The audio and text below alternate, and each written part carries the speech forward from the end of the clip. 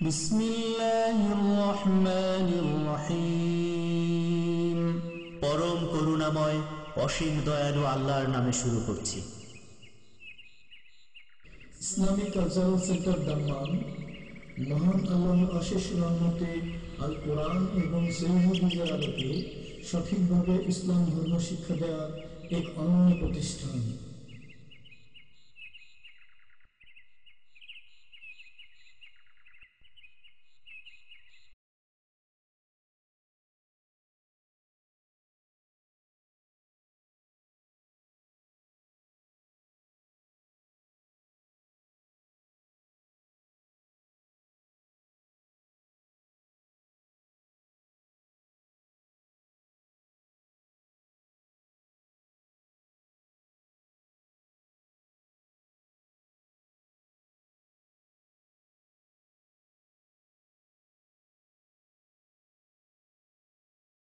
السلام عليكم ورحمة الله وبركاته إن الحمد لله نحمده ونستعينه ونستغفره ونعوذ بالله من شرور أنفسنا ومن سيئات أعمالنا من يهده الله فلا مضل له ومن يضلله فلا هادي له وأشهد أن لا إله إلا الله وحده لا شريك له وأشهد أن محمدا عبده ورسوله صلى الله تعالى عليه وعلى آله وصحبه وسلم تسليما كثيرا يا أيها الذين آمنوا اتقوا الله حق تقاته ولا تموتن إلا وأنتم مسلمون. يا أيها الناس اتقوا ربكم الذي خلقكم من نفس واحدة وخلق منها زوجها وبث منهما رجالا كثيرا ونساء. واتقوا الله الذي تساءلون به والأرحم إن الله كان عليكم رقيبا. يا أيها الذين آمنوا اتقوا الله وقولوا قولا سديدا. يصلح لكم أعمالكم ويغفر لكم ذنوبكم. ومن يطع الله ورسوله فقد فاز فوزا عظيما. أما بعد فإن خير الحديث كتاب الله وخير الهدي هدي محمد صلى الله عليه وسلم. وشر الأمور محدثاتها وكل محدثة بدعة وكل بدعة ضلالة وكل ضلالة في النار. أعوذ بالله من الشيطان الرجيم. بسم الله الرحمن الرحيم. والذين يتوفون منكم ويذرون أزواجا ইয়াতারব্বাসনা বিয়ানফুসাহিন্না আর বা তাশরি ওয়া আশরা। আল্লাহ পাক রব্বুল্লা সমস্ত প্রশংসা যে আল্লাহফাক আমাদের জন্য হায়াত মত সৃষ্টি করেছেন এবং তা নির্ধারিত করেছেন। আল্লাহ ফাকরাবুল আলমিনের প্রত্যেকটি কাজে রয়েছে হেকমত, রহস্য। আল্লাহ পাক যাকে যতটা হায়াত দিয়েছেন তাতে রয়েছে আল্লাহ পাকের হেকমত, রহস্য।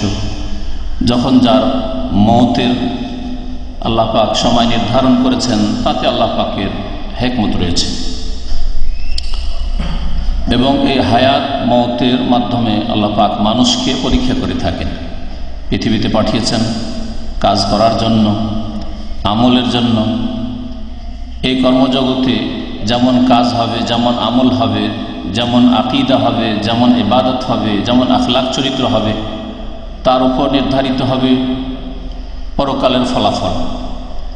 এই জন্য আল্লাহ ফাকরবুল আলমিন মতের পরের জগৎ আখেরাত সৃষ্টি করেছেন।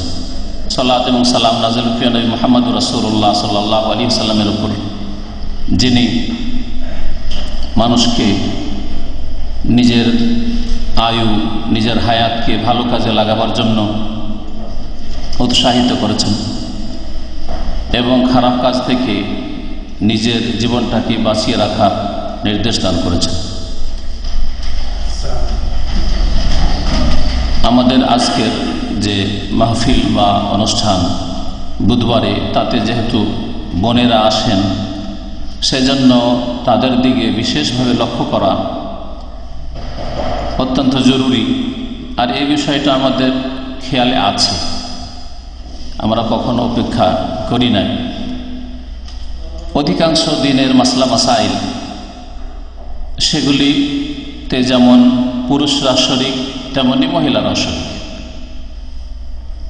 আকিদা, যেমন আকিদা বিশ্বাস, একজন পুরুষ রাখবে, তেমন একজন মহিলা রাখবে।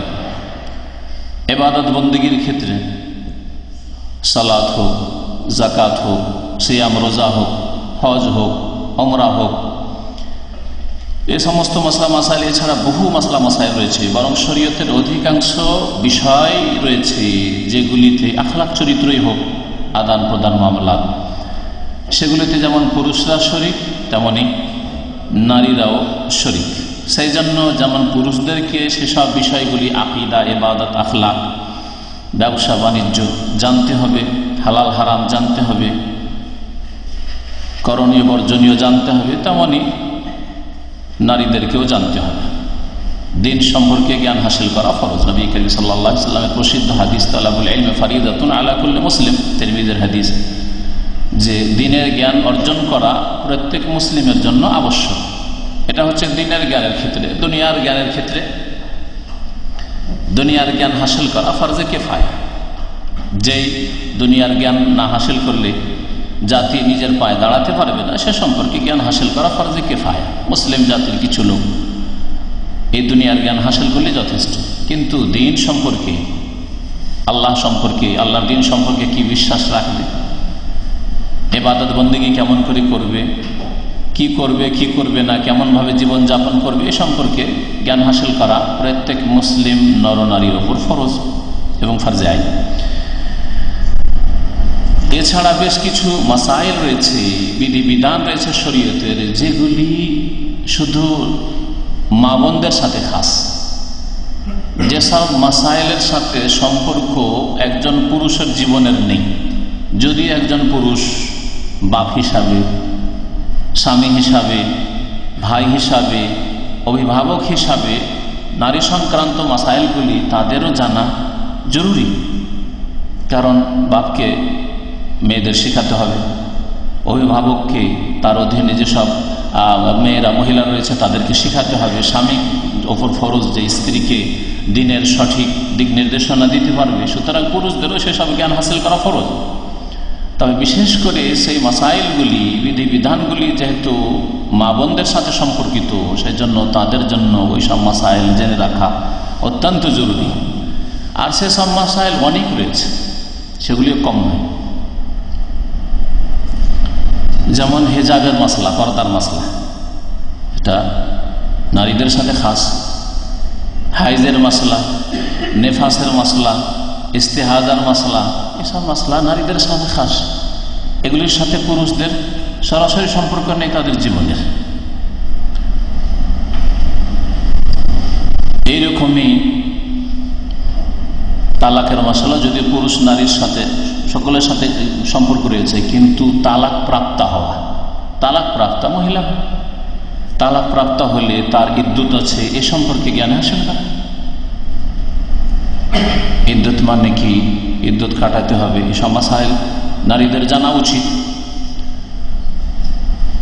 বিধবা হওয়া। বিধবা পুরুষ হয় না। মহিলা বিধবা হয়। হ্যাঁ? স্ত্রী মারা গেলে স্বামী বিধবা হয় না। কিন্তু স্বামী মারা গেলে স্ত্রী বিধবা হয়, তাহলে বিধবা হলে বিধবার সাথে সম্পর্কিত বেশ কিছু মাসাইল রয়েছে। তার ইদ্যুৎ তার শোকের দিন এবং এই শোক যাকে হাদিসের ভাষায় এহদাদ বলা হয়েছে, শোক পালন করা, এটা কতদিনের এবং তার নিয়ম নীতি কি? এসব মাসাইল জানা জরুরি। এরকম বহু মাসলা মাসাইল রয়েছে যেগুলি সম্পর্ক নারীদের সাথে একটা একটা করে আলোচনা আমরা করব। আজকে বিধবার মাসাইল আলোচনা করব। একজন নারী যদি স্বামী হারা হয়, বিধবা হয়, তাহলে তার সাথে সম্পর্কিত মাসাইল আপনাদের সামনে পেশ করব। আল্লাহ ফাকরবুল আলমিন কোরআনে কেরিমে এরশাদ করেছেন তাদের ইদ্যত সম্পর্কে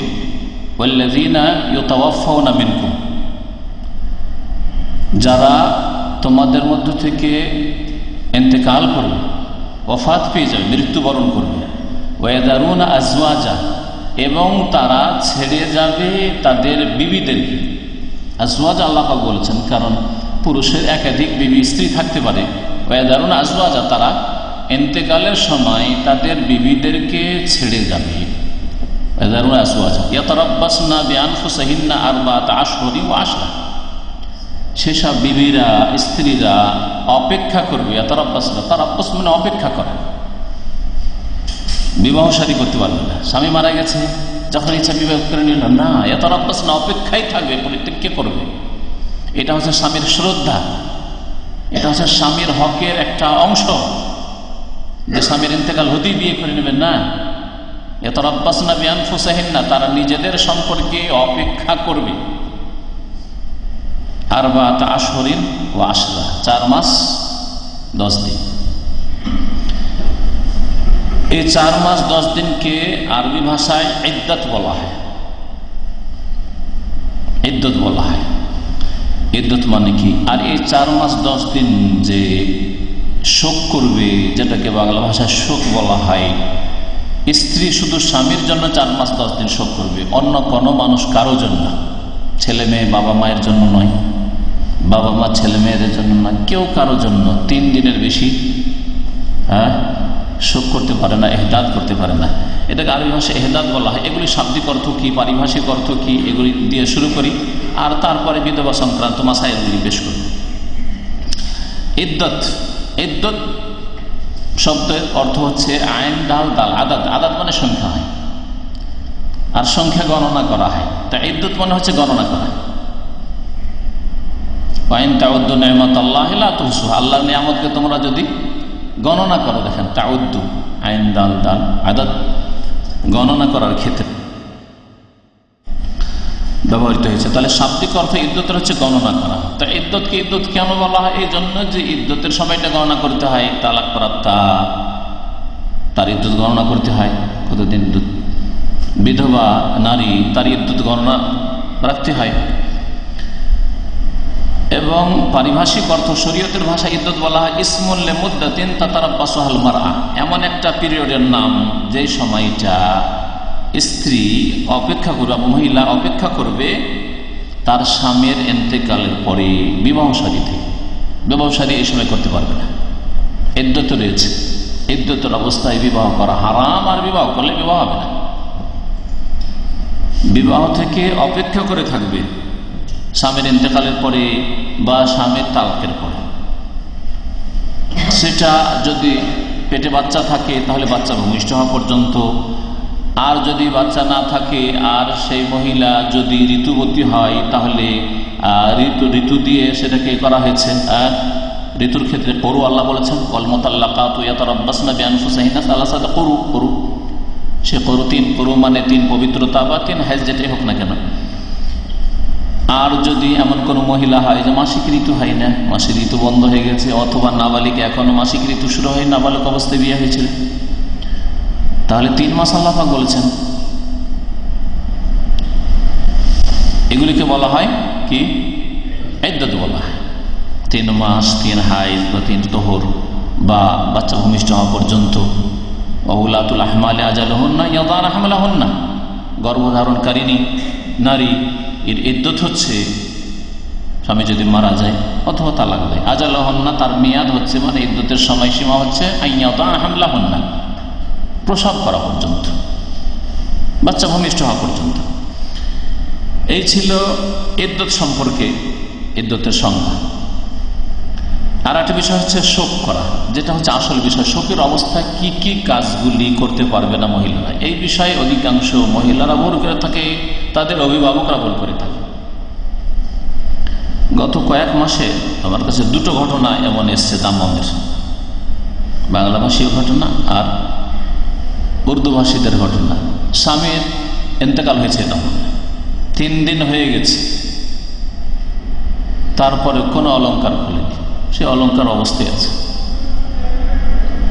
এ হচ্ছে অজ্ঞতা মুসলিম সমাজের নারী পুরুষদের। যে স্বামী হারা হলে, বিধবা হলে, যে বিষয়গুলি ফরজ, ওই মহিলার জন্য জানে না। এই কয়েক মাসের মধ্যে মাত্র ঘটনা। তো শোক পালন করাকে আরবি ভাষায় বলা হয় হেদাত বা হেদাত হেদাত। হেদাদের শাব্দিক অর্থ হচ্ছে ছেড়ে দেওয়া বা বিরত থাকা। তো ছেড়ে দেওয়া, বিরত থাকার সাথে এই শোকের সম্পর্ক কি? এই সময় বিশেষ জিনিসগুলি ছেড়ে দেবে। বাইরে ঘোরাঘুরি ছেড়ে দেবে। এক নিজের বাসা থেকে অন্য বাসাতে অবস্থান করা ছেড়ে দেবে। অলঙ্কার ছেড়ে দেবে।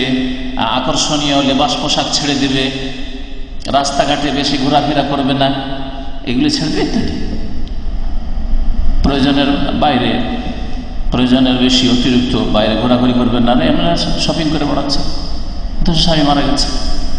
এখনও তার ইদ্যতের সময় শেষ হয়নি, এগুলি করবে না। তাহলে ছেড়ে দেওয়ার অর্থটি পাওয়া যাচ্ছে? বা বিরত থাকার অর্থ পাওয়া যাচ্ছে? শরীয়তের ভাষায় শোক পালন করা বলা হয়, তাজান্নবুল মার আতিল মহতাদ্দাল মোতাফান হাজাউজুহা যার স্বামীর ইন্তেকাল হয়েছে, তার বেঁচে থাকা এমন কাজগুলি থেকে যেগুলি বিবাহের দিকে আকর্ষিত করে। যে ছেলে বিবাহ করতে চায়, যে ব্যক্তি বিবাহ করতে চায়, তাকে আকর্ষিত করে, অথবা নিজেও আকর্ষিত হইতে পারে, বেশি সাজলেই সাজবে কার জন্য? সাজবে স্বামীর জন্য। অথচ স্বামী হারা হয়েছে।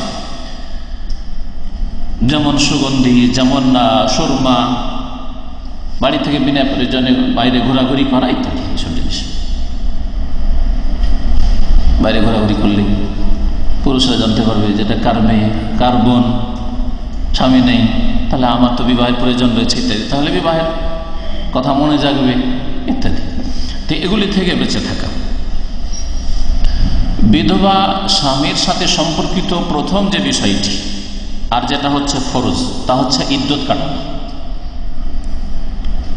ইদ্যুৎ কাটানো। এবং এই ইদ্যুৎ সম্পর্কে কোরআনে করিমের আয়াত আপনাদের বললাম, মুসনাদ আহমদে, আবু দাউদে, তিরমিদে, নাসাইতে একটি হাদিস রয়েছে, সেই হাদিসটি সম্পর্কে শোনেন।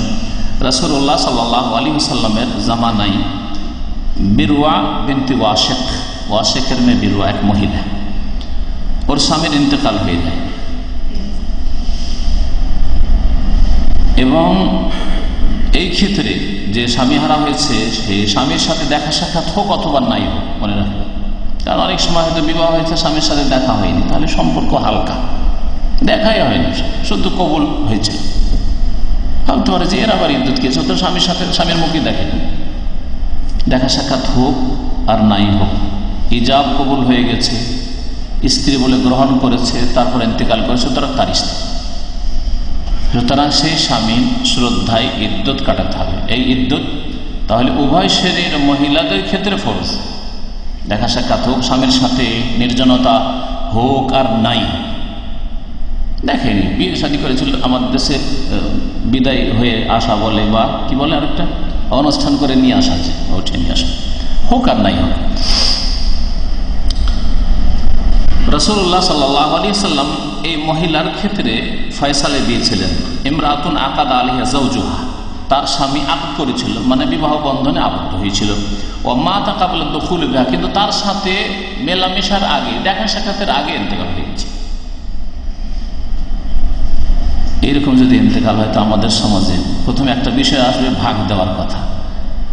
লাখ লাখ টাকা অথবা পঁচিশ পঞ্চাশ বিঘা জমির মালিক যদি ওই পুরুষ হয়, ওই স্ত্রীকে দিতে চাইবে? দিতে চাইবে বলেন দেখি আমাদের সমাজে। আমাদের সমাজের প্রেক্ষাপটে বলেন। একজন লোক বিয়ে করেছে আর তার স্ত্রীর সাথে দেখা দেখা যায়নি আর হয়ে এর ভাইয়েরা বা পাত্রীয় স্বজন যারা আছে, পঞ্চাশ বিঘা জমির মালিক, দশ বিশ লাখ টাকা, পঞ্চাশ লাখ টাকার মালিক, আরও এর বেশি হইতে পারে। অনেক টাকা চলে যাবে। আরে, এমন এক মহিলা যার সাথে আমার ভাইয়ের দেখা সাক্ষাৎ হয়নি কিছু হয়নি, ছেলে মেয়ে নেই। দেখা সাক্ষাৎ হয়েছে, ছেলে মেয়ে নেই, সেজন্য দেন আউট করবে ধাক্কা দিয়ে বাড়িতে বের করবে কিছু নেই ওর ভাগ এইরকম জুলমত্তা যেগুলো আমাদের সমাজে হচ্ছে। অথচ অথচ বিবাহ বিবাহ হলেই সেই ক্ষেত্রে নবী করিম ফাইসালা বিআন্না আলাইহাল ইদ্দাত ওয়ালাহাল মিরাস। এই ক্ষেত্রে দেখেন, তারও কিছু হক রয়েছে আর তার উপর অন্যের হক রয়েছে। তার কিছু হক রয়েছে আর তার উপর স্বামীর হক রয়েছে। দুটোই খেয়াল রাখতে হবে। শরীয়তে এই মাপকাঠি ব্যালেন্সটা ঠিক আছে। একতরফা নয়। বেয়ান্না আলাইহাল ইদ্দা, ওই মহিলাকে যে বিবাহিতা হয়েছে, কিন্তু স্বামীর সাথে সাক্ষাৎ হয়নি। ওকে ইদ্যুৎ কাটাতে হবে। ইদ্যুৎ কতদিন বললাম করেন আয়াত? চার মাস, দশ দিন তাহলে সে বিবাহ করতে পারবে না। এমন একটা ভালো ছেলে পেয়েছি। আর যদি তাড়াতাড়ি বিয়েটা না দিই ভালো এই ছেলেটার সাথে, তাহলে হয়তো এই কাস্টমার ছুটে যেতে পারে, হাত ছাড়া হয়ে যেতে পারে তাড়াতাড়ি এক মাসের মধ্যে। হ্যাঁ দুই মাসের মধ্যে, তিন মাসের মধ্যে। না, বিবাহ হবে না। হারাম এবং এই বিবাহ হবে না, বাতিল বিবাহ। হ্যালো এটা, এতে যদি ক্ষতিগ্রস্ত হয়, যে ছেলেটা হাত ছাড়া হয়ে গেল, তারপরও বিবাহ করতে পারবে না। এটা কার হক? স্বামীর হক। স্বামীর হকের খাতিরে স্বামীর এহতেরাম, স্বামীর শ্রদ্ধা, স্বামীর অন্তরে কদর রয়েছে। সুতরাং এই স্বামী চার মাস যদি বিবাহ করতেই হয় আমাকে, আর করতে আমি শরীরে যাইতেছে, বিধবার বিবাহ। কিন্তু চার মাস দশ দিন যাইছে আমার যতই ক্ষতি হয়ে যাবে মেয়ের বাবা যতই ক্ষতিগ্রস্ত, আমার মেয়ের জন্য ভালো ছেলে পেলাম না, ভালো ছেলেটা ছুটে গেল ছুটে যাক। কিন্তু চার মাস দশ দিন স্বামীর শ্রদ্ধায় অপেক্ষায় থাকতে হবে, ফরজ। স্বামীর হক আদায় করলে তাহলে স্বামীর হক আদায় করলে তো স্বামীকে স্ত্রীর হক আদায় করতে হবে, নবী মিরাজ এবং এই মহিলার জন্য মিরাজ রয়েছে, ধন সম্পদে তার ন্যায্য অধিকার রয়েছে যা দিয়েছে স্ত্রীর কতটা ভাগ রয়েছে বলতে পারেন কেউ? দেখি আল্লাহর বান্দা কেউ আছে? হ্যাঁ? আট ভাগের এক ভাগের জন্য বললেন। আর কিছু? আর কোন? হ্যাঁ? আট ভাগের এক সন্তান থাকলে চার ভাগের এক ভাগ। আর সন্তান না থাকলে হ্যাঁ। সন্তান থাকলে তো ওরা ওরা পাবে। তো এই ক্ষেত্রে শরীর কম করবে। আপনি আরও বেশি করে দিলেন উল্টো করে। এই ক্ষেত্রে যদি ওই মহিলা যদি ছেলে মেয়ে হয়ে থাকে হ্যাঁ? ওই স্বামী থেকে, তাহলে তখন পাবে আট ভাগের এক ভাগ, সমন। সমন মানে আট ভাগের, সামানিয়া মানে আট আর সমন মানে? জি। ওয়ালাহুন্না রোবো মিম্মা তারাক্তুম ইল্লাম ইয়াকুন লাহা ওয়ালাদ। তারা চার ভাগের এক ভাগ পাবে রব আর বা থেকে। হ্যাঁ রব মানে চার ভাগে, একের চার। চার ভাগের এক ভাগ পাবে তাহলে চল্লিশ লক্ষ টাকার যদি মালিক হয়, তাহলে দশ হাজার হ্যাঁ? মহিলা যার সাথে দেখা সাক্ষাৎ হয়নি, তার মানে ছেলে মেয়ে হয়নি। দেবে, আমাদের সমাজের লোক, জালেম সমাজ, কখনো দিতে চাইবে না। ভাই বোনেরা, বাপ দিতে চাইবে, আরে দশ লক্ষ টাকা আমার ছেলের বেরিয়ে চলে গেল। হ্যাঁ বউ অন্য জায়গায় বিবাহ বসে গেল। হ্যাঁ ঘর সংসার হইল না। আল্লাহ পাকরাবুল আলমিন এই হক দিয়েছেন দেবে ইল্লাম ইয়াকুল্লাহ তার যদি ছেলে মেয়ে না থাকে, তাহলে চার ভাগের এক ভাগ। আর যদি ছেলে মেয়ে থাকে, আল্লাহ বলছেন, তাদের জন্য সমন। সোরানের সাথে আল্লাহ ফাকরুল আলম সোরানের শুরুর দিকে এই বিষয়গুলি আল্লাহ পাক কোরআনে কেরিমে ভাগ করে দিয়েছেন। আল্লাহ পাক ভাগ করে দিয়েছেন। আল্লাহ পাক বেশি জানেন না, মানুষ বেশি জানে। যে কোনটাতে সুবিচার হবে, নাই বিচার হবে, আল্লাহ পাক ভালো জানেন। আল্লাহ আলমান খালাকে, যিনি সৃষ্টি করেছেন, তিনি জানেন না যে কাকে কত দিতে হবে, তাহলে ন্যায্য বিচার হবে। ধন সম্পদ আল্লাহ আসমান জমিনের মিরাসের মালিক আল্লাহ যে আল্লাহ মালিক, সে আল্লাহ ভাগ করে দিয়েছেন। বলছেন ওয়ালাহাল মিরাস। সে এমনকি সেই মেয়ে, যে বিধবা হচ্ছে, নাবালিকাও যদি হয়, সাত বছর, আট বছর বয়স, অনেক নয় চার পাঁচ বছরের বিবাহ দিয়ে দিচ্ছে আমাদের সমাজে এই বিবাহগুলো আগে হইত হ্যাঁ? যদিও কমে এসছে এখন।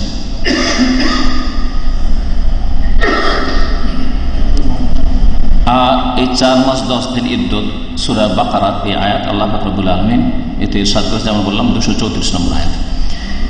শোক চার মাস দশ দিন পালন করতে এই মানে আর একটি হাদিস রয়েছে বোখারি মুসলিমে। নবী করিম ইয়াউমিল আখির আন আলা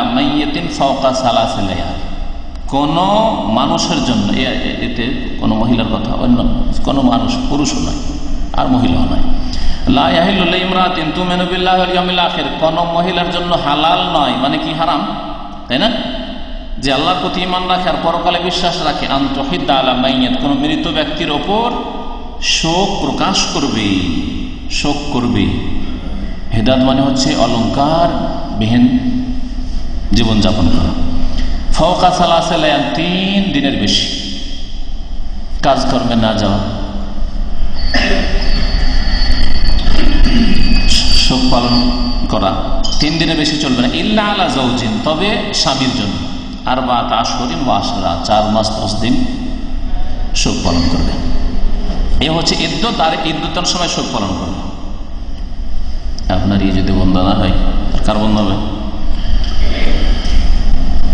এই বিষয়ের ওপর অলমাদের ইজমা রয়েছে, ঐক্যমত রয়েছে। কোনো ইখতলাফ নেই যে চার মাস দশ দিন হচ্ছে ইদ্যত এবং এই চার মাস দশ দিন স্ত্রী স্বামীর জন্য করবে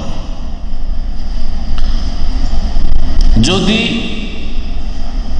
পেটে বাচ্চা না থাকে, গর্ভবতী না হয়, গর্ভবতী হইলে আল্লাহ বাকসুরা তালাক আয়াত নম্বর চার এরশাদ করেছেন যেমন আয়াতটি একটু আগে বললাম বা উলাতুল আহমাল আজাল হন্না উলাতুল আহমাল গর্ভধারণকারিনীরা আজাল হন্না তাদের মেয়াদ ইদ্যুৎ হচ্ছে, আইয়াদান হামলা হন্না তাদের সন্তান ভূমিষ্ঠ হওয়া পর্যন্ত। তাহলে সন্তান ভূমিষ্ঠ হতে অনেক সময় লং টাইম হয়তো প্রথম মাসে ছিল, তাহলে নয় মাস চলে যেতে পারে। আবার একেবারে শেষ থেকে ছিল কি, এক মাসে দশ দিন, বিশ দিনে হইতে পারে। আল্লাহ ফাকর বললাম এই ক্ষেত্রে এই বিধান দান করেছেন। এই মর্মে আর একটি হাদিস রয়েছে, সন্তান ভূমিষ্ঠ হওয়ার ক্ষেত্রে, সুবাইয়া আল আসলামিয়া আসলাম গোত্রের সুবাইয়া নামক এক মহিলা নফেসাত বাদা ওফাতে জৌজেহা বেলায়ালে, তার স্বামীর ইন্তেকালের কয়েক রাত পরে মানে কয়েকদিন পরে কয়েকদিন পরে তার বাচ্চা ভূমিষ্ঠ হয়ে যায় নেফাজ চলে আসে মানে বাচ্চা ভূমিষ্ঠ হয়ে যায়। নবী তখন নবী ফাস্তা বিবাহ করতে ভালো একটা ছেলে পাওয়া গেছে। বিবাহ করতে পারব কিনা অনুমতি চাইলেন মহিলা নবী সাল্লাম অনুমতি দিলেন। ফানা কাহা তখন বিবাহ করলেন। তাহলে বোঝা গেল যে দশ দিন, বিশ দিন পরে যদি বাচ্চা ভূমিষ্ঠ হয়ে যায়, আর বাচ্চা ভূমিষ্ঠ হওয়ার পর বিবাহ করা যায় যাচ্ছে যদিও যতদিন পর্যন্ত ব্লিডিং থাকবে, ততদিন পর্যন্ত স্বামী স্ত্রী মিলন করতে পারবে না, কিন্তু এই অবস্থায় মাসিক অবস্থায় বিবাহ যায় নেফাজ অবস্থায় বিবাহ যায় বিবাহ তো অসুবিধা নেই, কিন্তু স্বামীর থেকে দূরে থাকবে। বিশ দিনে বাইশ দিনে যেদিন পাক হবে, চল্লিশ দিনে হবে, চল্লিশ দিন ম্যাক্সিমাম ধরেন পাক হইল না, তখন চল্লিশ দিন। আর বিশ দিনে, দশ দিনে, পনেরো দিনে যদি পাক হয়ে যায় ফার্স্ট থেকে, তাহলে তারপরে স্বামী স্ত্রী মেলামেশা করতে পারবে। এই হাদিস স্পষ্ট করে তাহলে যে বাচ্চা ভূমিষ্ঠ হওয়ার পরে ইদ্যুৎ শেষ, সুতরাং স্বামীর হক আদায় করে ফেলেছে, এখন বিবাহ করতে পারবে। এই ক্ষেত্রে চার মাস, দশ দিনের বিধান প্রযোজ্য নয় আর একটি বিষয়, এই যে শোক বা ইদ্যুৎ কোন দিক থেকে কোন দিন থেকে শুরু হবে? একটা লোক বিদেশে থাকলে আজকাল না হয় টেলিফোন, মোবাইলের জামানা। সুখ, দুঃখ হ্যাঁ সুস্থতা, অসুস্থতা, হায়াত, মতের খবর সাথে সাথে পৌঁছে যাচ্ছে, ঠিক না? না, এমন একটা যুগ ছিল চিঠিতে গিয়ে বিশ দিন পরে পৌঁছিল। হ্যাঁ ততদিন পর্যন্ত হ্যাঁ যদি কারও রোগের কথা আমরা ছিলাম এককাল মোদী ইউনিভার্সিটি যখন পড়াশোনা করি, আমাদের কাছে চিঠি আসতো। চিঠি আসে পৌঁছিল পনেরো দিন, বিশ দিন পর, ততদিনে অসুখ হয়েছিল ভালো হয়ে গেছে। অপারেশন হয়েছিল অপারেশনটা ভালো হয়ে গেছে। মত কারও মত হয়েছে আত্মীয় স্বজন মতের পরে পুরাতন ঘটনা পুরাতন হয়ে গেছে, শোক শেষ হয়ে গেছে ওদের তিন দিন। কিন্তু এখন সাথে সাথে সব খবর হ্যাঁ? কি খেলেন, না খেলেন এই খবর হ্যাঁ? আল্লাহ পাকের এইসব নিয়ামতের শুক্রিয়া আদায় করছেন। কি শুধু শুক্র, আলহামদুলিল্লাহ, মুখে? হ্যাঁ নিয়ামতের শুক্রিয়া আমার একটা বক্তব্য আছে। নিয়ামতের শুক্রিয়া কি দিয়ে করতে হবে? নিয়ামতের শুক্রিয়া মানে মোবাইলটাকে হারাম কাজে ব্যবহার মিউজিক টোন রাখবেন না, হারাম। গান বাজনা রাখবেন না, অশ্লীল ছবি রাখবেন না হ্যাঁ? এছাড়া অবৈধ সম্পর্কের জন্য মোবাইল ব্যবহার করবেন না, জি। অপচয় করবেন না, ইত্যাদি ইত্যাদি। এর দ্বারা ভালো কাজ করবেন, নেকির কাজে লাগাবেন হ্যাঁ? ডিউটির জন্য অ্যালার্ম লাগাচ্ছেন মোবাইলে, কিন্তু ফজর নামাজের জন্য লাগান না। শুক্রিয়া আদি করি। কি শুক্রিয়া আদি করলেন? ফজর নামাজে মোবাইল অ্যালার্ম লাগান তৌফিক হয় না। আপনার শুক্রিয়া আদি শুক্রিয়া আদি করলেন না তো? শুক্রিয়া আদি তখন কথা আলহামদুলিল্লাহ, আল্লাহ এককালে আমার মনে আছে, আমি প্রথম যখন এই টেবিল ঘড়ি কিনে নিয়ে যাই, শুধু ফজরে ওঠার জন্য একটা ঘড়ির দাম আশি রিয়াল, একশো রিয়াল আর একটা মোবাইলে আপনার সব কাজ হয়ে যাচ্ছে। চিঠিরও কাজ হয়ে যাচ্ছে মেসেজ দিয়ে। কথা বলা হয়ে যাচ্ছে টেলিফোনের কাজ হয়ে যাচ্ছে হ্যাঁ? অ্যালার্মের কাজ হয়ে যাচ্ছে, আর টেবিল ঘড়ির প্রয়োজনীয় মার্কেট থেকে আউট তাই না? আল্লাহ পাকের নিয়ামতের সুক্রিয়া আদায় করেন। নেকির কাজে লাগাবেন আল্লাহ কাছে জবাব দিতে পারবেন। আর না হলে জবাব দিতে পারবেন না। ডিউটির জন্য তো ঠিক অ্যালার্ম লাগাতে তুমি মোবাইলে। আর ফজরের জন্য কদিন লাগিয়েছে। এখানে করবেন হা হা, আল্লাহ তখনই যান। তা নামাজে ফের, ফজরে ফের।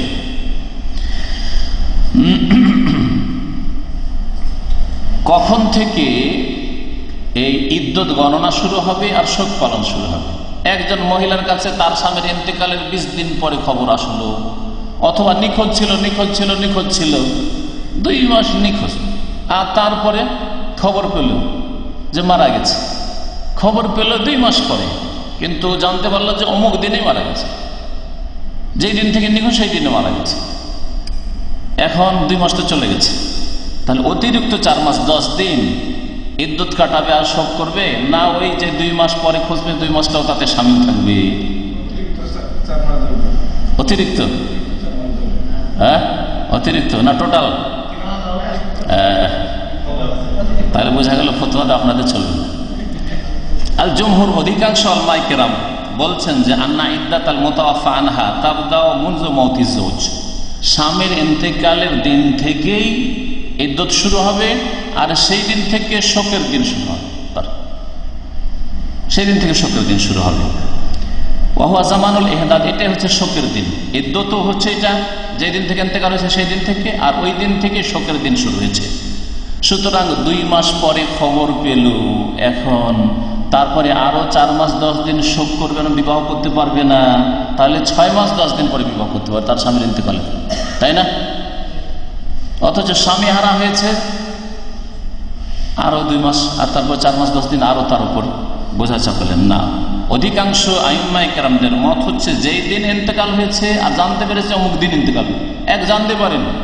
তাহলে সেটা আলাদা কথা যে কোন দিন ইন্তেকাল হয়েছে, না হয়েছে। কিন্তু জানতে পেরেছে অমুক দিন ইন্তেকাল হয়ে গেছে, কিন্তু আমরা খোঁজটা পরে পেয়েছি। পরে ওখানকার যেখানে ইন্তেকাল হচ্ছে সেখানকার স্থানীয় লোকের মাধ্যমে জানা গেল, এর তো ইন্তেকাল অনেক আগে। সাউন আলেমাত বেজালিক হিনাল ওফাত, আর ইন্তেকালের সময় জানতে পারুক তালাম ইল্লা জালিকা পরে জানতে পেরেছে। মালাম তানকুজ আর বাত আসরি মাসা চার মাস, দশ দিনের মধ্যে যখন আছে। ফাইন ইন কাবলা ফালা এমন কি? ধরেন চার মাস, দশ দিন কেটে গেছে। স্বামীর ইন্তেকালের পরে চার মাস, দশ দিন পার হয়ে গেছে। আর চার মাস, দশ দিন পরে ছয় মাস পরে খবর পাচ্ছে যে আমার স্বামীর তো ইন্তেকাল হয়েছে, বিদেশে গিয়েছিল কাজ করতে, তারপরে মারা গেছে। ওখানকার স্থানীয় লোকের কাছে বা হাসপাতাল থেকে খবর পাচ্ছে পরে যে ছয় মাস আগে স্বামীর ইন্তেকাল হয়েছে। এখন কি এক তো ছয় মাস গেছে ওই দিন, আবার চার মাস দশ দিন? না। বলছে যে যদি জানার আগে চার মাস দশ দিন পার হয়ে চলে গেছে, ফালা ইদ্দা তালে কোনো ইদ্যত নেই নতুন করে ওলা এ না শোক করা নেই তাহলে যেই দিনে খবর পেল, তখন থেকে ইচ্ছা করলে তার জন্য বিবাহ করা যায়। তবে এর বিপরীত আপনাদের মতের অনুকূলে একটা ফতুয়া আছে আলী রাজি আল্লাহ তালান শুধু আলী রাজি আল্লাহ সাহাবাই কেরামদের মধ্যে, তার মানে অন্যান্য সাহাবাই কেরামদের মত অধিকাংশ আইমাই কেরাম যা বলেছেন সেই রকমই মানে অধিকাংশ আইমাই কেরামরা সিংহবাগ সাহাবাই কেরামকে ফলো করেছেন। আলী রাজি আল্লাহ তালানোর মত হচ্ছে, আন্নাল ইদ্দাতা তাবদা ওয়াক্তা ইলমেহাবিল ওয়াফাত যেই দিন জানতে পারল যে আমার স্বামী মারা গেছে, সেই দিন থেকে ইদ্যুৎ শুরু হবে, সেই দিন থেকে তার শোকের দিন শুরু হবে। চার মাস, দশ দিন তখন থেকে তাই। যখন জানতে পারো। পাঁচ বছর পরে যদি জানতে পারো, তাহলে পাঁচ বছর পরে চার মাস দশ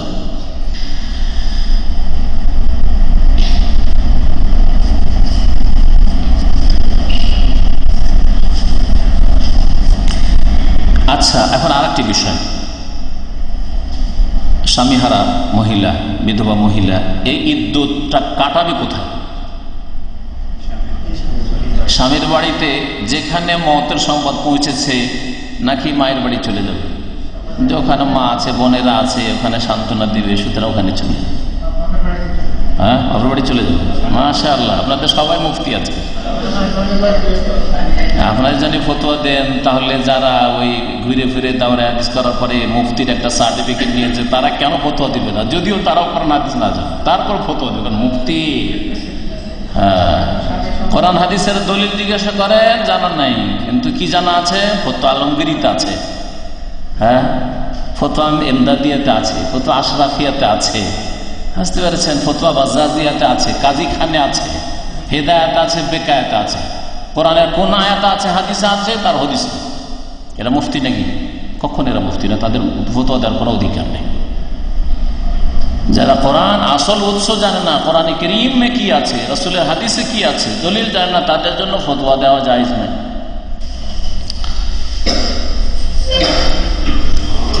বিধবা, মহিলা, বিদ্যুৎ কাটাবে ওই বাসাতেই, ওই বাড়িতে যেই বাড়িতে তার স্বামীর ইন্তেকালের খবর পৌঁছেছে, যদি সেখানে থাকা তার সম্ভব হয়। বিদেশে পরিবার দামানো ছিল, রিয়াজে ছিল। তাহলে ওই বাসাতে ইদ্যুৎ কাটাবে, যেই বাসাতে তার কাছে স্বামীর ইন্তকালের খবর পৌঁছেছে।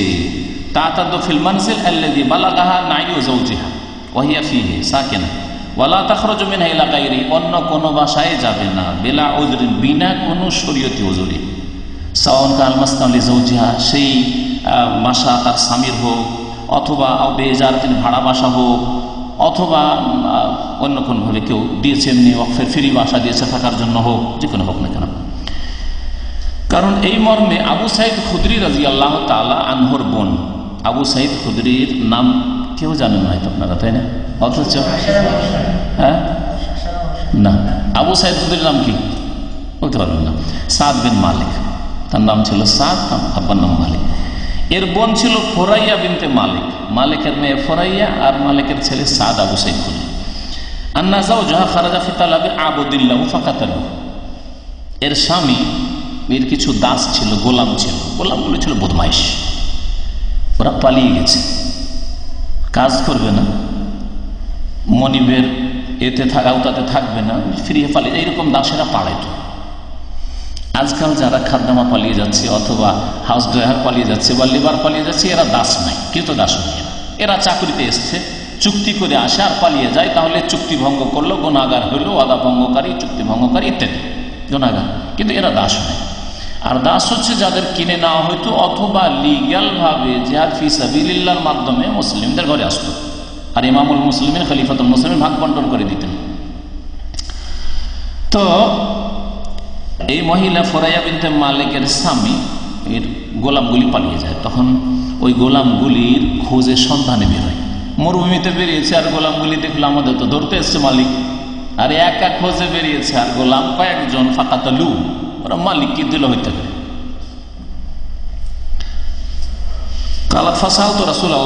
তখন আমি রাসুল জিজ্ঞেস করলাম আনার যে আমার স্বামী তো এরকম নিহত হয়েছে। আর আমি মনে করছি যে আমার বাবার বাড়ি চলে যায়। কারণ আমার স্বামীর কোনো বাড়ি ছিল না এমলিকু ওয়ালা না ফাঁকা আর কোনো বাড়িতে খরচ পাতিও নেই। তাহলে হয়তো অন্য কোনো কারও বাসা হয়তো ফিরি থাকতে দিয়েছিল বা কিছু, যেভাবে হোক না কেন। ফাঁকা আল্লাহ সাল্লাম প্রথমত বললেন যে হ্যাঁ ঠিক আছে। ফালামা কুন্ত ফিল হুজরাতে, তারপরে যখন কক্ষে ঢুকেছি না দানি নবী সাল্লাম ডাক দিলেন। ফাঁকাল বলে, অঙ্কো সিফি বাই থেকে হাত্তায়াবলোগাল কিতাবু আজালা। নবী প্রসিদ্ধ হাদিস, অঙ্কো সিফি বাই থেকে হে বিধবা মহিলা, তুমি তোমার নিজ বাড়িতেই অবস্থান করো। ওখানে অবস্থান করো। হাত্তায়াবলোগাল কিতাব আজালো, যতক্ষণ পর্যন্ত আল্লাহর বিধানের সময় সীমা তার নির্ধারিত সময় না পৌঁছে গেছে। তার মানে ইদ্যত না পার হয়েছে, চার মাস, দশ দিন না হয়েছে। কালাক এই আবু সাইদ খুদির বোন বলছে আর বাতা শরীর বাসা চার মাস, দশ দিন সেখানে ইদ্যুৎ কাটালাম, যেখানে অস্থায়ীভাবে ছিলাম। কিন্তু নিরাপদ স্থান ছিল। যদি নিরাপদ না হয়, সেটা ক্ষেত্র আলাদা। জায়গায় নিরাপদ নয়, একজন মহিলা একা থাকবে, ছেলেরা বড় নেই, অথবা নিরাপদ স্থান নয় হ্যাঁ? তো সেখান থেকে যেতে পারবে। এরকম যদি শরীয়তি কোনো অজুর হয় তাহলে। উসমান। আর এই ফয়সালাই দিতেন উসমান আল্লাহ তার মানে এই দিতেন যেখানে মতের খবর আসবে, সেখানেই অবস্থান করবে পর্যন্ত। আবু রয়েছে রয়েছে আচ্ছা আর একটি হচ্ছে যে এই ইদ্যুৎ চলাকালীন চার মাস দশ দিনের মধ্যে স্বামীর বাড়ি থেকে বেরোতে পারেন কিনা? আপনাদের মত কি বেরোতে পারবে? না, একেবারে জেলখানে বন্ধ। মোটেই বেরোতে পারবে না? হ্যাঁ শেষ কারণে। জরুরি না, প্রয়োজন প্রয়োজন হলে বেরোতে পারে। যেমন মুদিখানার দোকান বাকালে যেতে হবে, কেনাকাটার জন্য। বাজারে যেতে হবে, কেনাকাটার জন্য কেউ নেই, ইত্যাদি। শাক শাকসবজি নিজে নিতে যেতে হবে, যাই যদি কারও এরকম না থাকে, প্রয়োজনীয় জিনিস কেনার জন্য। ইয়া ইয়াজুজ প্রশ্ন পড়ে নতুন মানুষ মনে হয়েছিল। তবে দিনে বেরোবে রাত্রে নাই শুনে রাখেন মশলা। মহিলারা বিধবা হইলে বাড়ি থেকে দিনে বেরোবে রাত্রে নয়। জাবের আবদুল্লাহ রবি আল্লাহ তালানহা থেকে বর্ণিত, তিনি বলছেন, তুল্লিকাত খালাক, আমার খালাকে তালাক দিয়ে দেওয়া হয়। ফারাদা তান্তা যুদ্ধ না খালাহা তখন এই তালাকের পরে ইদ্যুৎ অবস্থায় নিজের খেজুর বাগানে গিয়ে খেজুর পাড়তে চাইল। যে খেজুর পেড়ে নিয়ে আসব। ফাজাজা রাহা রাজুলুন আন্তা খোঁজ বেরিয়েছে, তো এক লোক কোনো মুসলমান দেখে তাকে ধমক দিচ্ছে। হ্যাঁ কোথাকার কোন মহিলা? তোমার তালাক হয়েছে, তুমি বাড়ি থেকে বেরিয়ে যাচ্ছ খেজুরের বাগানে? তখন কাছে মহিলা আসলো ফাঁকা তখন বালা বালা হ্যাঁ অবশ্যই যেতে পারবে। তোমার খেজুর তুমি পাড়তে পারো।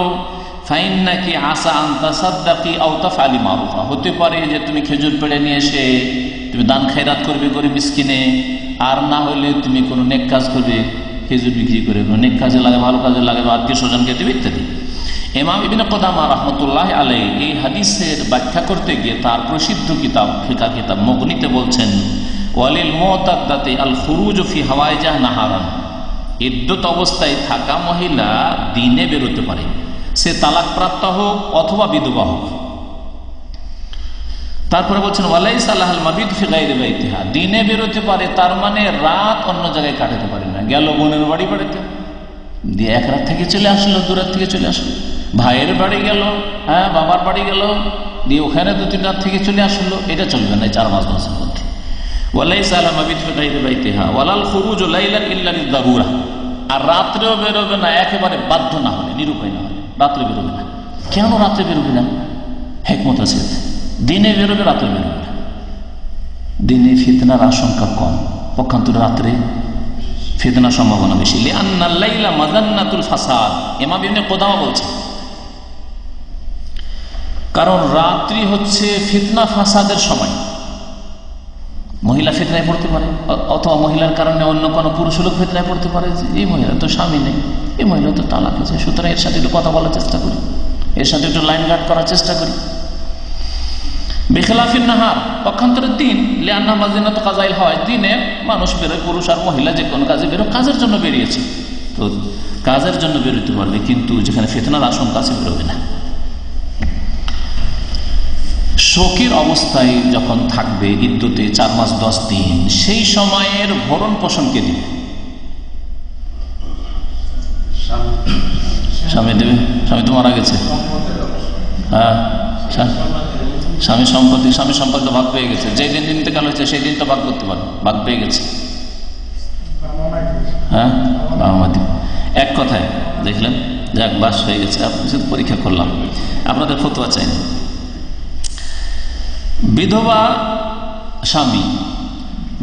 যে স্বামী ইন্তেকাল করেছে, বিধবা মহিলা। বিধবা মহিলা হয় গর্ভধারণকারিণী গর্ভবতী আর না হলে গর্ভবতী নয়। দুটিতে অবস্থা হইতে পারে।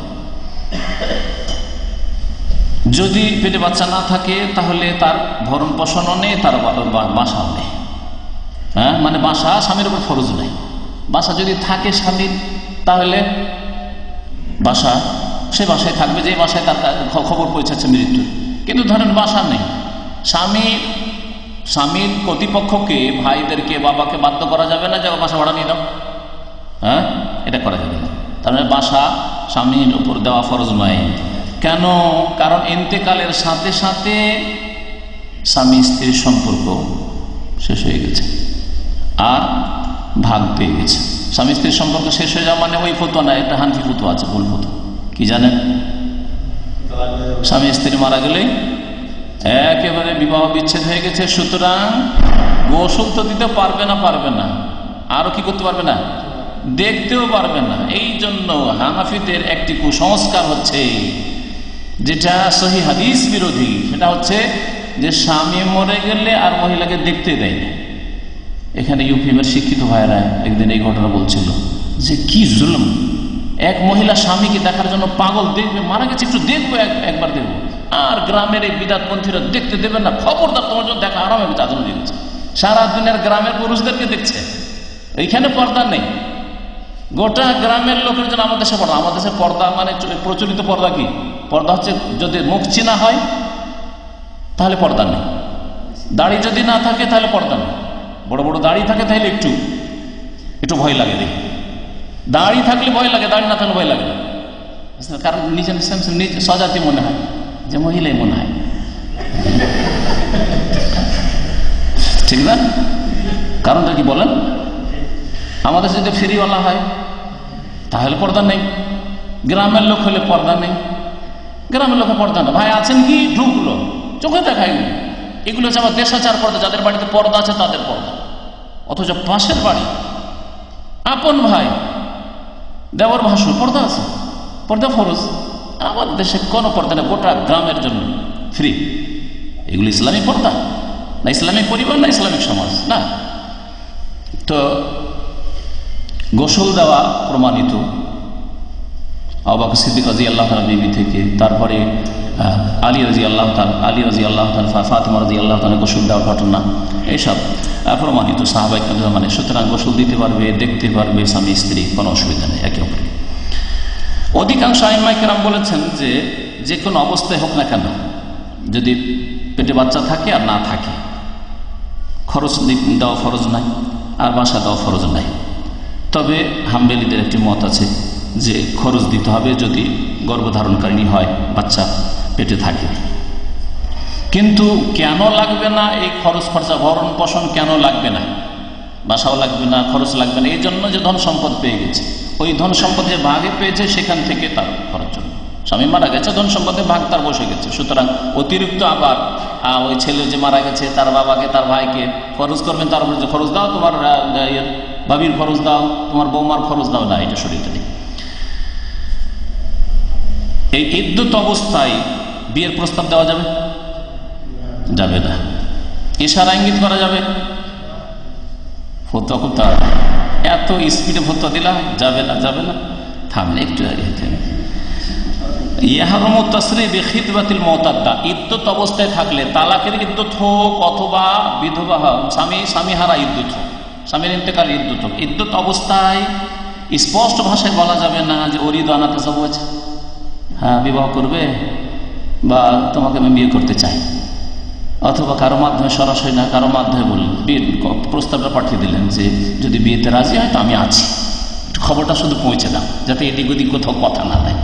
ইদ্যত অবস্থায় এসব করা যাবে না, হারাম কালা শেখুল ইসলাম বিন তাইম রাহিমাহুল্লাহ তাআলা, ইমাম তাইম রাহমাতুল্লাহ বলছেন, ওয়ালা মানে মিনাত তারিদ ইলা মিন তাসরিহ তবে ইশারা ইঙ্গিত করা যেত স্পষ্ট ভাষায় বিবাহের প্রস্তাব দেওয়া সরাসরি অথবা কোনো ভায়া মাধ্যম দিয়ে মেসেজ দিয়ে হ্যাঁ যাবে না।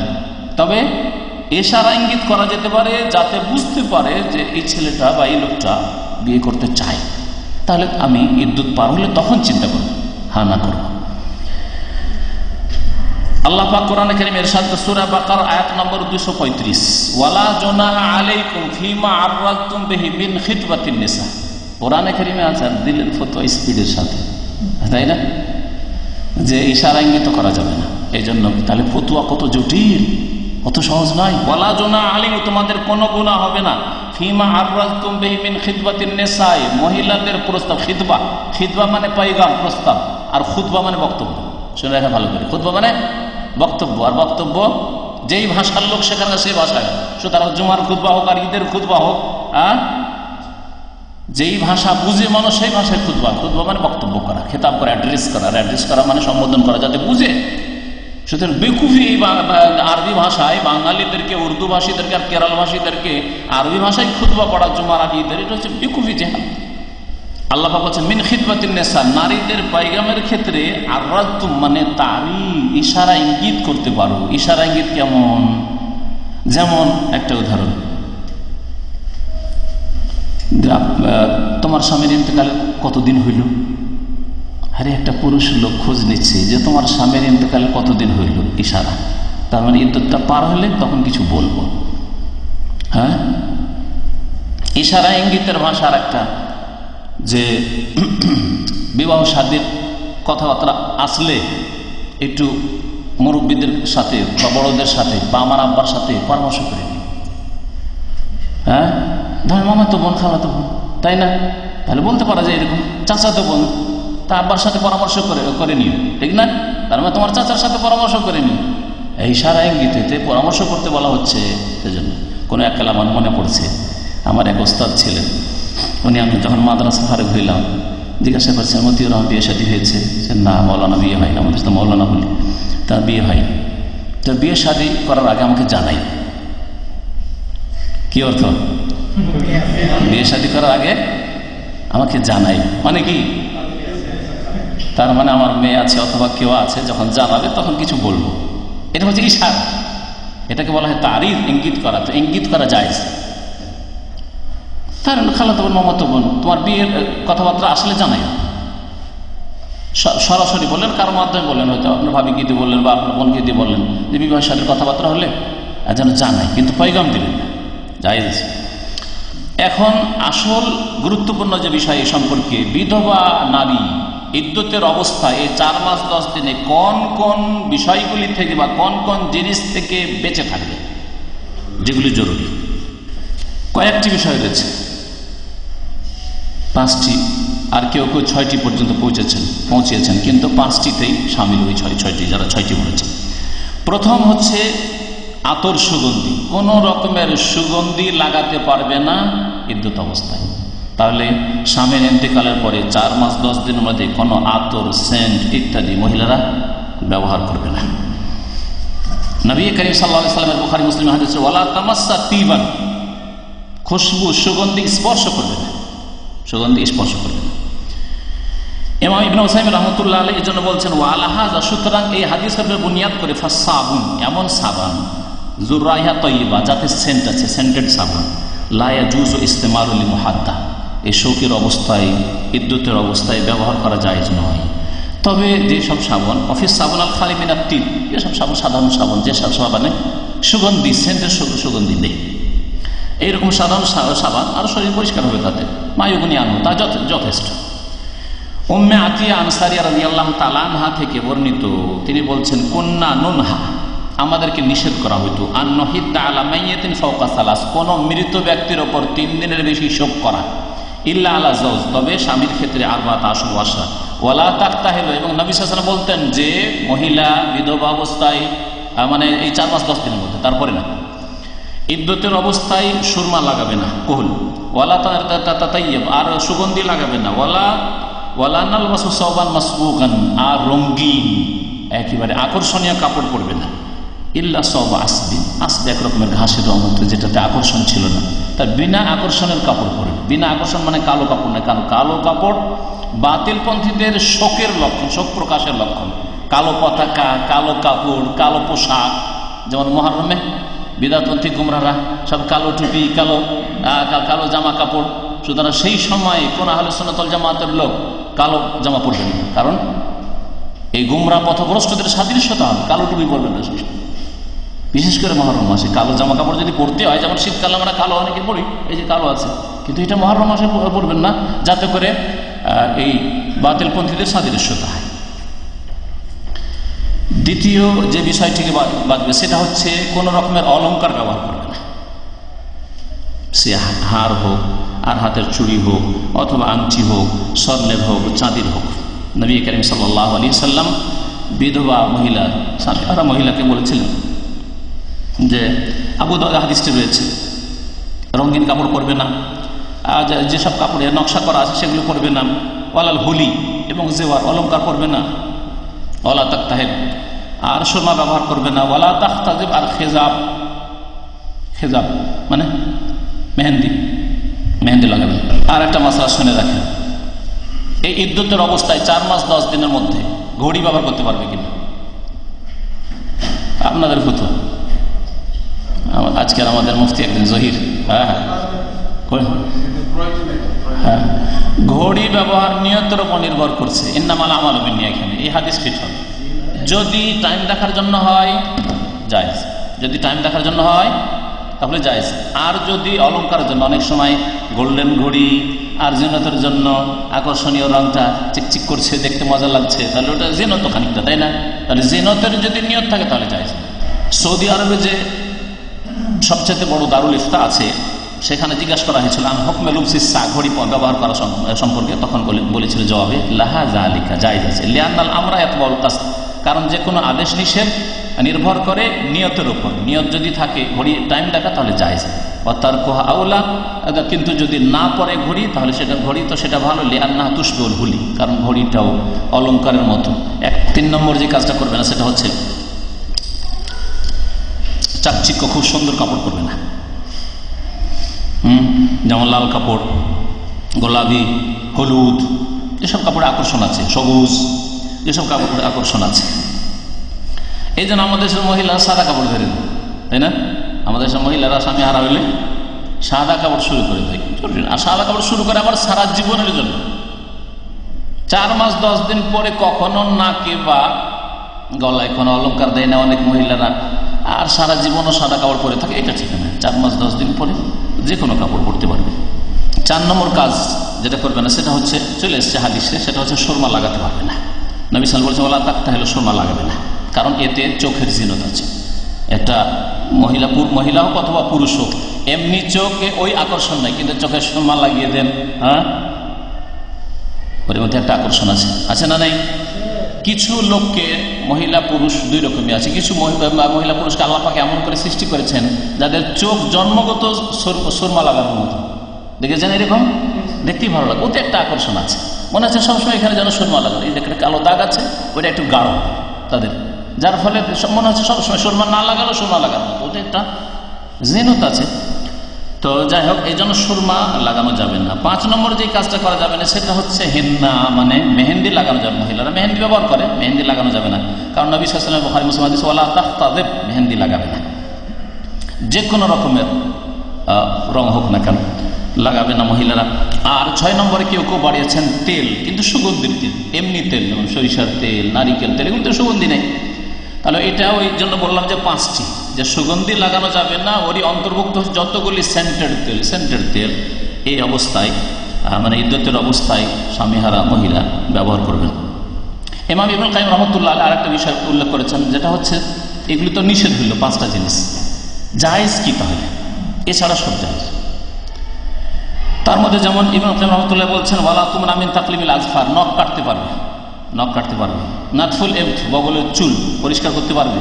হাল হালকুসার আল মান্দুবেল হালকি যেসব অঙ্গের চুল মন্ডন করা, শরীয়ত সম্মত, সেগুলি সাফ করতে পারবে, গোসল করতে পারবে। সুগন্ধিওয়ালা সাবন ছাড়া গোসল করতে পারবে বরই পাতা দিয়ে, ইত্যাদি দিয়ে বলে এমতে সাজবেহি তারপরে এ করতে পারে চিরুনি ব্যবহার করতে পারবে, চিরুনি ব্যবহার করতে পারবে। ইমাম ইবিন তাইমার আরও অতিরিক্ত বলেছেন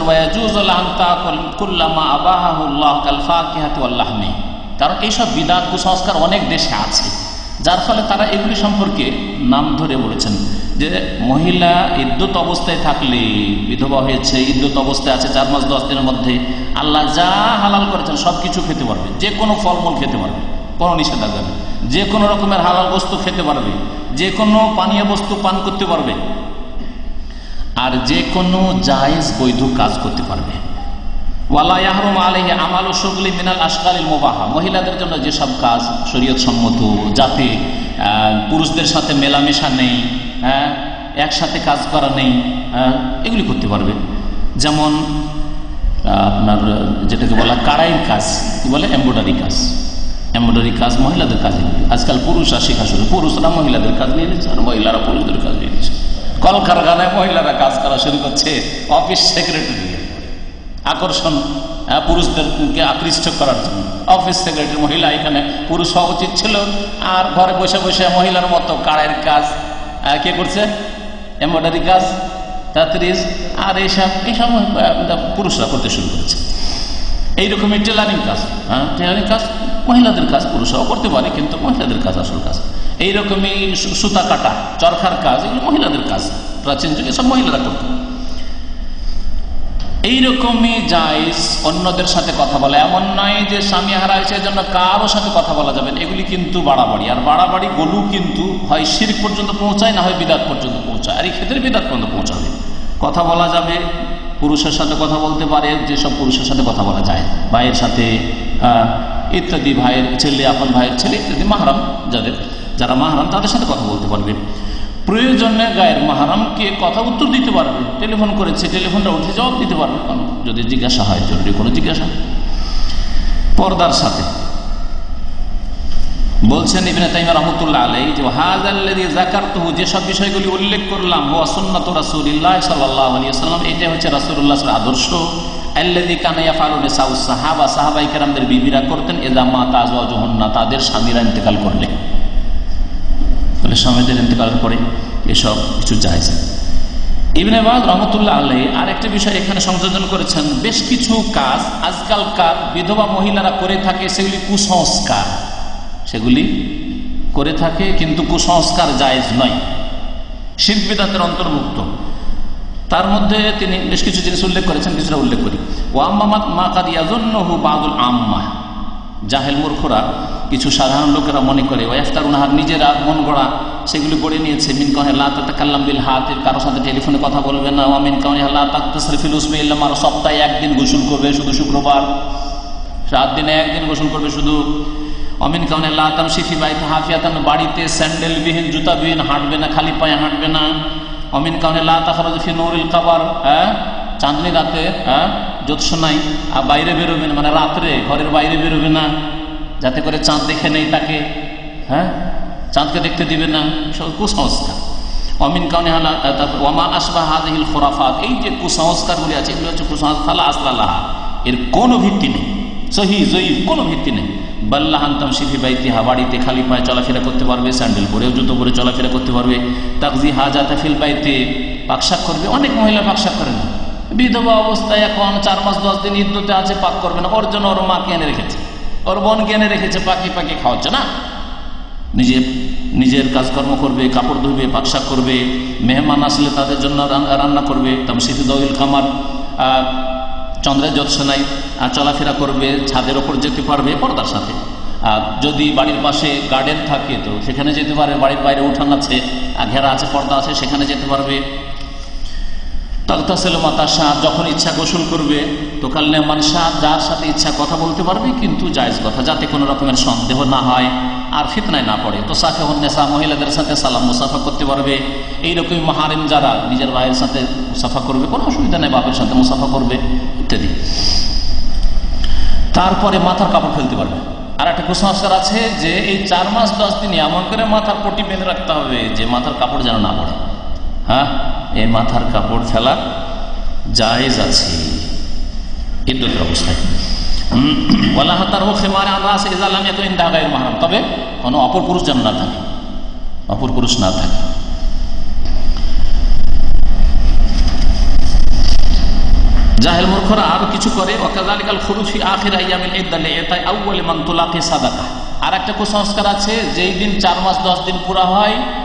সেই দিন আরব দেশে যেগুলি বিদাত শেখ মিরবাদ রহমতুল্লাহ আলাই তিনি ভারত, বাংলাদেশে যে আরও যে কত বিদাত আছে, বিধবা সংক্রান্ত আল্লাহ হ্যাঁ সেগুলি দেশ থেকে কালেকশন করতে হবে।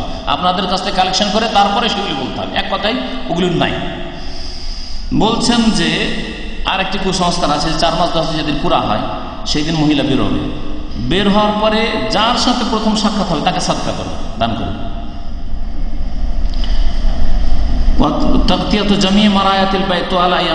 চার মাস, দশ দিন, যতগুলি নিজের বাড়ির গ্লাস, এই যে গ্লাসগুলি আছে, সব গ্লাসে পর্দা দিয়ে রাখতে যাতে করে গ্লাসটা না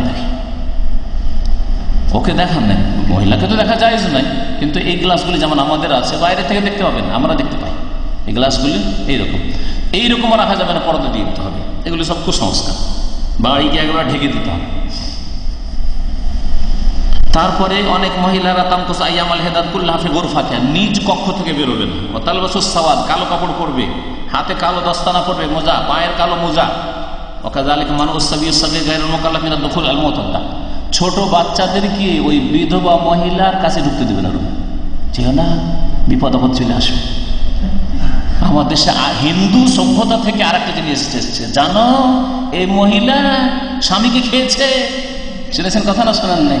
আমি নিজে শুনেছি ছোট কালে। হ্যাঁ যদি ঝগড়া লেগেছে তো বিপদ আছে, বিধবা মহিলার জন্য হ্যাঁ স্বামী খাকিনি, আমাদের আঞ্চলিক ভাষায়। স্বামীকে খেয়েছিস তুই? আর যদি আল্লাহ না করে কারও দুটো তিনটে স্বামী মরে যাও হয়তো বিয়ে হইল ভাগ্য। চক্রে দ্বিতীয় স্বামী মারা গেল। এক স্বামী নয়, দুই দুই, তিন স্বামী খেয়েছে। একে বিয়ে করবি, খবরদার বিয়ে করে তুই যাবি। সাপ আছে। কত কুসংস্কার আছে, হাদিস হারাজ বলে শেষ করতে পারবেন যখন ইদ্যুৎ শেষ হয়, তখন আবার পার্টি করে। একটা কিছু জবাই করতে হবে। গরু খাসি জবাই করতে হবে, পার্টি করে। ফাহাদাকুল্লাহমিনাল বিদা এই সবগুলি হচ্ছে বিদা তত্ত্বাসাদ্দত আর অতিরঞ্জন। আর এগুলি হওয়া মাহফুজুল কালামিন জুহাদ এগুলো মূর্খদের ধর্ম। জাহেল মূর্খদের কথা থেকে এই ধর্মকর্ম নেওয়া হয়েছে। আল্লাহ আলম। ওসল্লাহ আলা মোহাম্মদ ওয়ালা আলী ওসাহাবি আজমাইন। সোলাইমান আলি সাল্লামকে এত বড় রাজত্ব দেওয়ার পরে মতের হাত থেকে বাঁচতে পারেনি। ফালাম্মা কাজাইনা আলী মত আল্লাহ বলছেন, ও, তারও মতের আমি সিদ্ধান্ত করেছি। কিন্তু এই মত সম্পর্কে জিন ছয় মাস ধরে জানতে পারে। যখন কাজ বাইতুল মোকাদ্দাসের পুরা হচ্ছে, তখন জানতে পারছে জিনের। তাই না? তো কথা হচ্ছে যে, একদিন মরতে হবে। একদিন মরতে হবে। স্বামী আগে মরুক, আলহামদুলিল্লাহ। আর স্ত্রী আগে মরুক, আলহামদুলিল্লাহ আল্লাহ করলে আর আল্লাহ ফাকরবুল আলমিন আমাদেরকে যতদিন রাখবেন, সহি সালামতে রাখবেন। ইমানের অবস্থায় রাখেন। আর যখন আমাদেরকে নেবেন আল্লাহ পাক ইমানের অবস্থায়, নেক আমলের অবস্থায়, ভালো অবস্থায় আল্লাহ পাকের সন্তুষ্টির অবস্থায় কালমা তাইয়েবার শাহাদাত দেওয়ার তৌফিক দান করেন। আশহাদু আল্লাহ ইলাহ ইল্লাল্লাহ ও আন্না মুহাম্মাদান রাসূলুল্লাহ। সকালবেলা সাইয়দুল ইস্তেগফার, সন্ধ্যাবেলা সাইয়দুল ইস্তেগফার পড়বেন।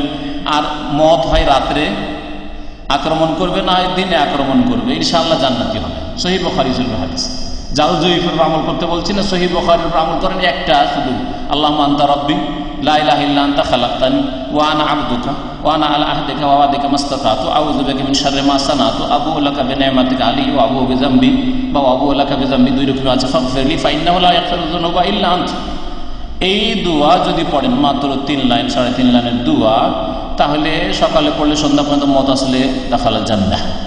আর যদি সন্ধ্যায় পড়েন, আর রাত্রে যদি কখনো মত আসে, তাহলে জান্নাতে যাবেন ইনশাআল্লাহ তালা আর এই আমল করতে কোনো কষ্ট লাগে না।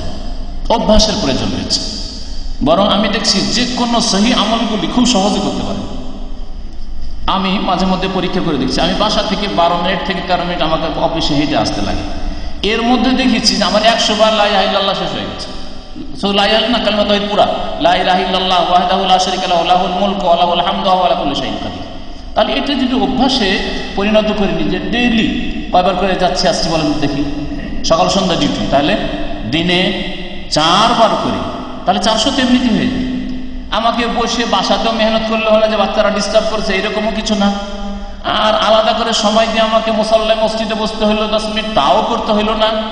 দশ মিনিট যেতে, দশ মিনিট আসতে, দশ মিনিট যেতে, দশ মিনিট আসতে, চারশো বার তাহলে আপনি যদি অভ্যাস করে নেন যে এই কালিমা তহিদ একশো বার দিনে আস্তাক ফিরুল্লাহ একশো বার দিনে তারপরে আপনি সুবাহ আমদি একশো বার দিনে, এগুলো সব বলে হাদিসে এসছে।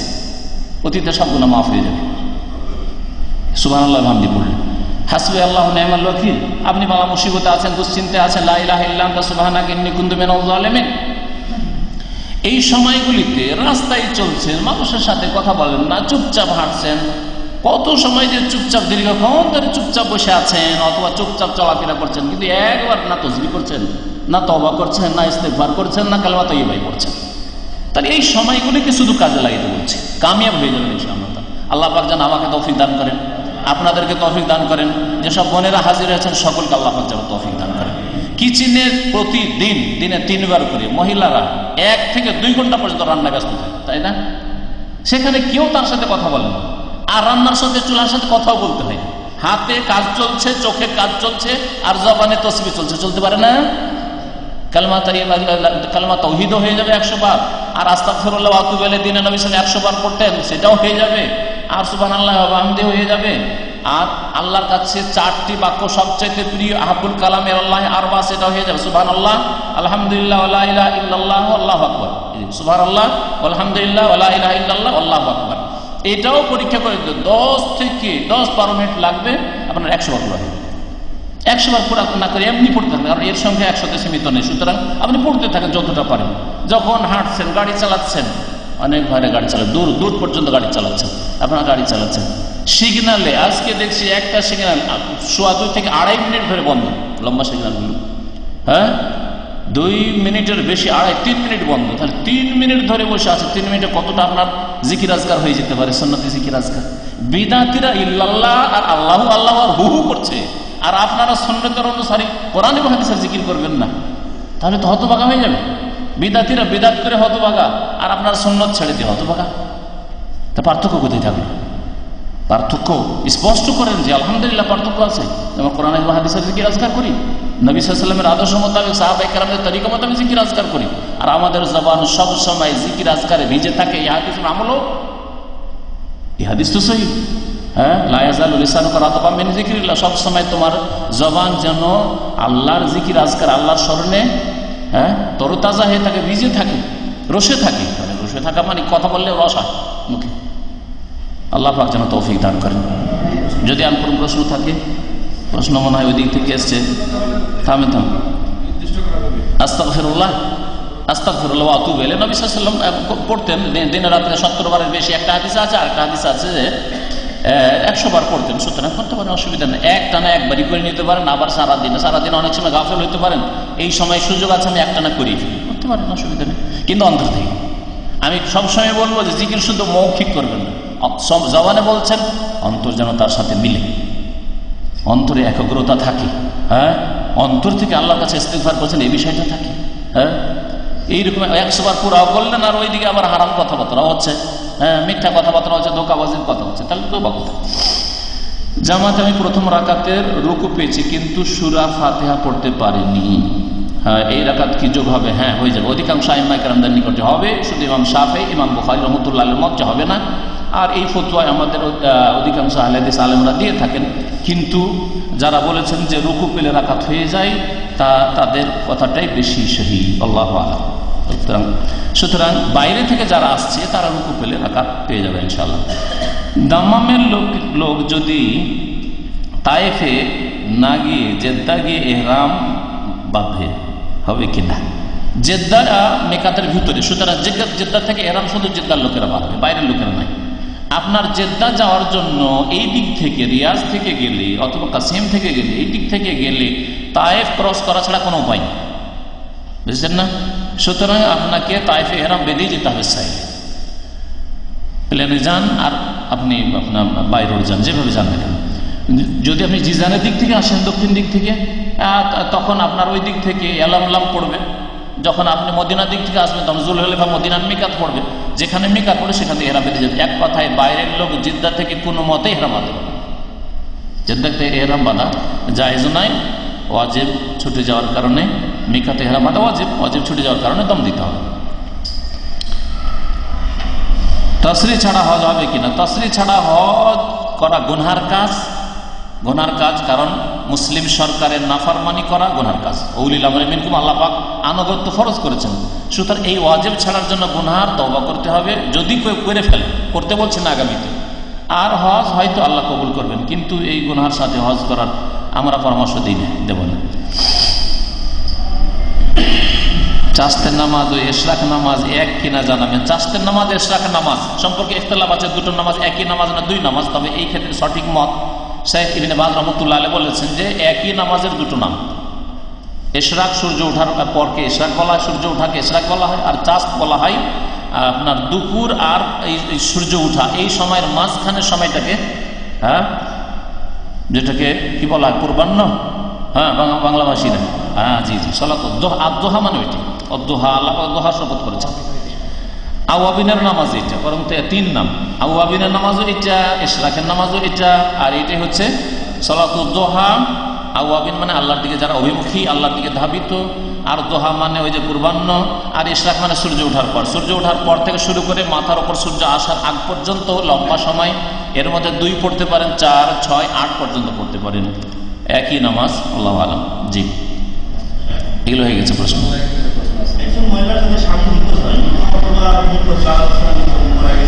হ্যাঁ হ্যাঁ। নিখোঁজ নিখোঁজ যদি স্বামী হয় এই ক্ষেত্রে মাসলা একটা আরেকটা আছে। নিখোঁজ স্বামীকে মফকুদ বলা হয়। ফাঁকা এফকুদ মানে হারিয়ে যাও একামা হারিয়ে গেছে? ফকেদা। তো মফকুদ যদি হয় তাহলে এই ক্ষেত্রে সহি হাদিস মোতাবেক ফতুয়া হচ্ছে এবং সাহাবাই কেরামদের আমলের যুগের আমল হচ্ছে। চার বছর অপেক্ষা থাকবে। মহিলা চার বছর বিবাহ করতে পারবে। চার বছর পরে কোনো খবর আসলো না। এখনও খবর না, মরেছে কি মনে খবরই এলো না। তখন ধরে নেবে যে চার বছর পরে তার ইন্তেকাল ধরবে সেই আর তারপরে চার মাস দশ দিন ইদ্যুৎ কাটাবে। চার বছর, চার মাস, দশ দিন পরে তখন অন্য জায়গায় বিবাহ বসতে পারে। বুঝেছেন কথা? আর হানাফি ফিকার ফতোয়া শুনবেন? কত বছর? একটা ফতোয়া হানাফি ফিকার নব্বই বছর আর একটা হচ্ছে একশোর বেশি। একশো দশ অথবা পাঁচ এইরকম। তাহলে একজন মহিলা যদি হানাফি হয়, মোকাল্লেদ, আর মোকাল্লেদ হওয়ার পরে ওরা ফখর করে আমরা মোকাল্লিদ, এরা গায়ের মোকাল্লেদ। গায়ের মোকাল্লেদটা ওদের কাছে গালি। তাই যদি হয়, তাহলে একজন মহিলা, আল্লাহ না করে কোনো হানফি মহিলা, আর কি হয়? স্বামী হারা হয়। মানে স্বামী হারা মানে স্বামী নিখোঁজ হয়। স্বামী যদি নিখোঁজ হয়ে যায়, তাহলে কমপক্ষে নব্বই বছর আবু ইউসুফ আর মোহাম্মদ আর আবু হানিফা, তিন এমামের তিন রকম মত আছে। একটা মত হচ্ছে নব্বই, আর একটা হচ্ছে একশো একশো দশ বা এরকম ধরে। তাহলে বেচারি মিসকিনকে নব্বই বছর অপেক্ষা করতে। নব্বই বছর অপেক্ষা করে যদি বাঁচে, তাহলে চার মাস, দশ দিন আবার ইদ্যুৎ কাটিতে। তারপরে কোন স্বামী খুঁজে পাবে? তো নূর আলাইসালামের যুগে ফিরে যেতে। সাড়ে নয়শো বছর, হাজার বছর, বারো বছর বছর বাঁচার যুগে ফিরে যেতে।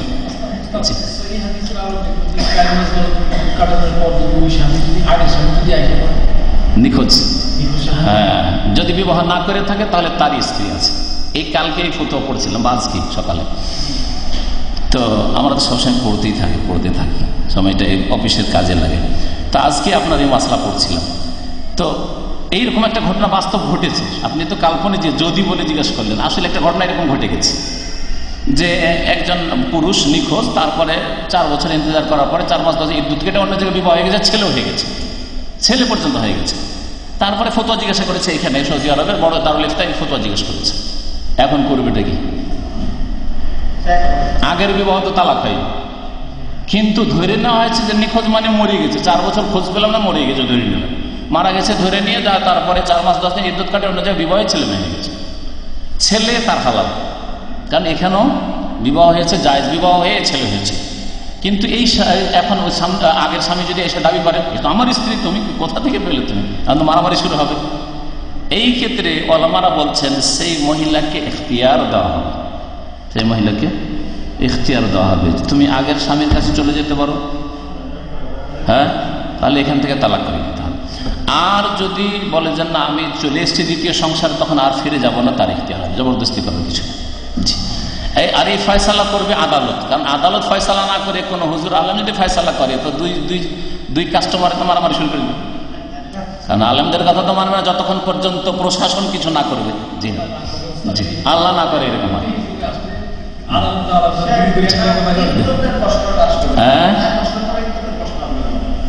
ও ওখানে যেহেতু নিখোঁজ নিখোঁজ তখন নিখোঁজ ছিল। মদ ধরা হলে চার বছর পরে ওলা মানা বলেছে। কিন্তু আমি যে আগের মশলাটা বললাম, ওটা হচ্ছে যে যদি জানতে পারে না যে মারা গেছে। হ্যাঁ এটা যদি না জানতে পারে, এখনও জানেননি, চার বছর হয়ে গেছে, মরেছে না বেঁচে আছে, আসলে কোথাও পালিয়ে আছে, লুকিয়ে আছে, এটা তো হইতে পারে আত্মগোপন করে আছে। তো এইরকম যদি নিখোঁজ অবস্থায় থাকে, তখন চার বছর পরে চার মাস দশ দিন ইদ্যুৎ কিন্তু ধরেন চার চার বছর পরে বা দুই বছর পরে খবর পেল যে আসলে তো মারা গেছে, ও মারা যাওয়া অনেকদিন হয়ে গেল, তাহলে আর কোনো ইদ্যুৎ নেই। বুঝা গেছে?